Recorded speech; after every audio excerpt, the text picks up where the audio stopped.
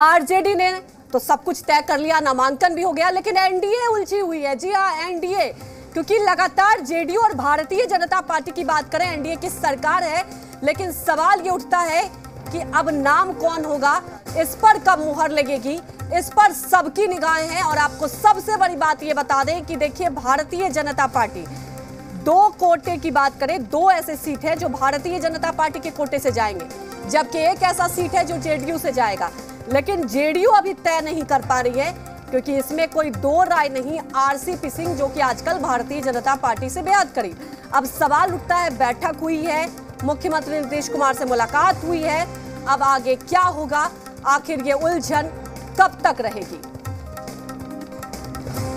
NDA का मामला है, जदयू वाले हैं, वो डिसीज़न लेंगे, सबों ने माननीय मुख्यमंत्री जी को अधिकृत किया है।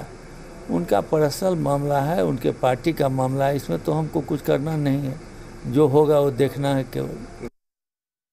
मेरे ख्याल से अब तक तो डिसीज़न हो जाना चाहिए था ताकि तीस तारीख लास्ट डेट है। हमको लगता है नीतीश जी थोड़ा बीजेपी के दबाव में जो है, वो डिसीज़न नहीं ले सक रहे होंगे।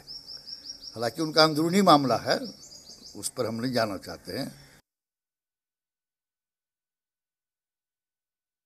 राष्ट्रीय जनता दल ने दो लोगों को प्रत्याशी के तौर पर चयनित किया और नामांकन भी हुआ, दाखिला हुई। राज्यसभा सांसद मिसा भारती जी, फैयाज अहमद जी।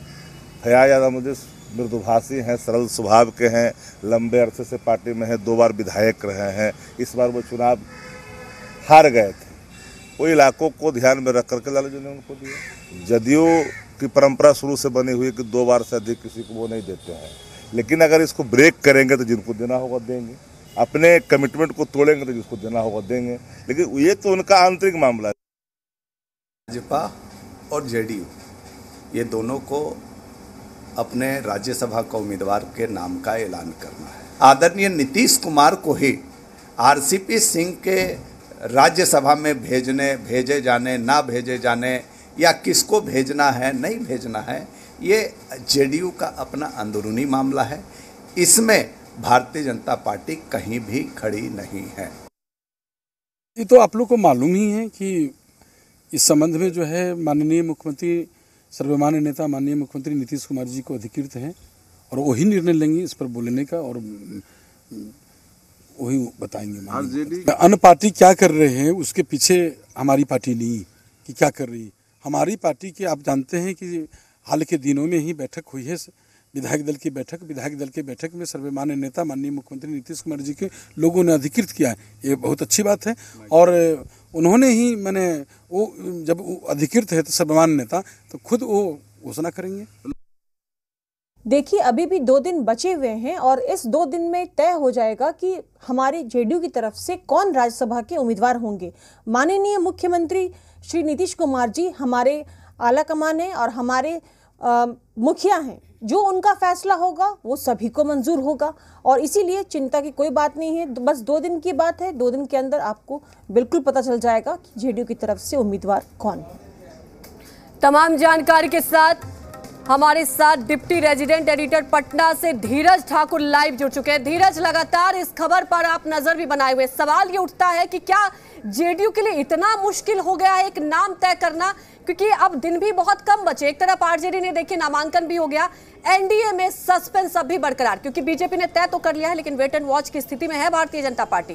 क्या लगता है, कब तक तय हो जाएगा? देखिए वक्त तो कम बचा है। दो तीन दिन का वक्त है। रविवार सोमवार और मंगलवार इक्कीस तारीख तक समय है। अंतिम तारीख है नामांकन करने का। अंतिम और उससे पहले ज़रूर मैंने पहले भी आपसे बातचीत हुई थी तो मैंने कहा था कि 29 तारीख तक ये ज़रूर तय हो जाएगा। और अभी कुछ देर पहले मुझे उपेंद्र कुशवाहा से बातचीत हुई है। उपेंद्र कुशवाहा ने कहा है कि आप मीडिया के लोगों ने इसको संशय बना रखा है। कोई सस्पेंस नहीं है संशय नहीं है। राज्यसभा के उम्मीदवार में लग, जब अंतिम तारीख को ही ज़्यादातर लोग नामांकन करते हैं और जिस तरह अनिल हेगड़े ने अंतिम तारीख को किया था उसी तरह अंतिम तारीख को होगा और वक्त आने पर निर्णय लिया जाएगा समय आने पर सारा निर्णय ले लिया जाए ले लिया जाएगा और बता दिया जाएगा आपको कि राज्यसभा के कौन उम्मीदवार होंगे। लेकिन ये इतने दिनों से जो कवायद चल रही है जेडीयू के अंदर इसको लेकर के तो ये तो ज़रूर माना जा सकता है कि कुछ न कुछ ज़रूर आरसीपी सिंह की उम्मीदवारी को लेकर के है। नहीं तो जिस तरह के रिश्ते जिस तरह के संबंध नीतीश कुमार के आर आरसीपी सिंह के पहले रहे हैं शायद उस तरह के नहीं हैं। इसीलिए इतनी कहीं ना कहीं देरी हो रही है इस बात को लेकर के। एक फैसला और भी है कि केंद्रीय मंत्री हैं आरसीपी सिंह। क्या अगर वो नहीं जाते हैं तो क्या पार्टी के कुछ वो उनके जो कुछ लोग हैं पार्टी में कुछ ऐसे उनके समर्थक हैं क्या नाराज़गी हो सकती है? कुछ लोगों को नाराज़गी हो सकती है। तो इन सब पर भी एक देखा जा रहा है मंथन किया जा रहा है। हम्म। लेकिन आ, कल तक उम्मीद है कि उनतीस तारीख तक एक ज़रूर बता दिया जाएगा क्योंकि कुछ कागजात भी तैयार करने होते हैं और तैयार हो जाए। जहाँ तक बीजेपी की बात है बीजेपी अभी कुछ देर पहले अभी से कुछ देर पह, कुछ देर बाद शायद दिल्ली में अरुण सिंह जो जनरल सेक्रेटरी हैं, वो प्रेस कॉन्फ्रेंस करेंगे और मुझे लगता है कि शायद वो राज्यसभा उम्मीदवारी को लेकर ही करेंगे। तो हो सकता है कि वहाँ अनाउंसमेंट हो जाए, लेकिन आज और कल दो दिन में बीजेपी और जेडीयू दोनों उम्मीदवार लगभग साफ़ हो जाएँगे कि राज्यसभा कौन जा रहे हैं और इसमें संशय नहीं रहेगी। लेकिन ये ज़रूर है कि जी जेडीयू में आरसीपी सिंह के उम्मीदवारी को लेकर के काफ़ी पशु पीस रही है। आपसी सहमति उस पर नहीं बन पाई है और आपसी सहमति अगर बन पाती तो इतना वक्त नहीं लगता। हालाँकि अब पाला जो। है और नीतीश कुमार के पार्टी ने अधिकृत कर दिया है। अब हम्म। नीतीश कुमार को देखना है कि किसको भेजते हैं। देखिए धीरज, जैसा कि महत्वपूर्ण बात आपने कहा कि हो सकता है कल तक पता भी चल जाए, लेकिन बात यह कि अगर आप नीतीश कुमार को समझे, नीतीश कुमार की राजनीति को, उन्हें किसी भी चीज़ फैसला लेने में इतना वक्त नहीं लगता था। लेकिन आपने अभी महत्वपूर्ण बात कही कि देखिए आरसीपी सिंह से वो अब रिश्ते नहीं है और यही वजह है कि वक्त लग रहा है। क्या आपको लगता है अगर, अभी क्योंकि संशय की स्थिति, अगर आरसीपी सिंह नहीं होंगे तो कौन होगा? ये भी एक सवाल बना हुआ है धीरज।